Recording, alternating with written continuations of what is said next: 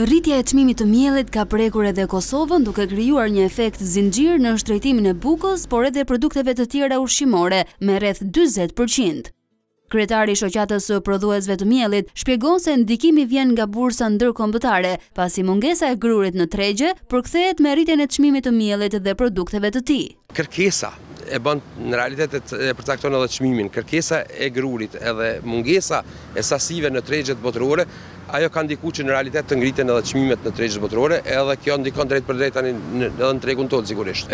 Nëse marrim krahasimin e vitit të kaluar të miellit, i cili ka qenë në treg për prej treqind deri në treqind e pesëdhjetë euro për ton, sivjet kemi një ngritje prej do të thotë çmimi aktual Katërqind deri në katërqind e pesëdhjetë euro i bie një ngritje e çmimit prej tridhjetë deri në dyzet për qind.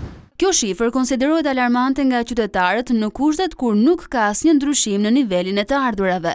Këtu në këtë regjion është pesëdhjetë cent çmimi i bukës. Edhe produktet tjera, vaji, sheqeri, të gjitha janë ngritë shumë. Përkundër kësaj, Rrogat, pensionet, unë jam pension, nuk janë rritë, s'kanë lëvizë fare dhe kjo, kjo, kjo është ma alarmonte. Qytetarët gjithashtu shprehen se rritja e çmimeve është i papërballueshëm për kategoritë në nevojë dhe pensionistët. Ata kërkojnë që qeveria të veprojë për të normalizuar situatën.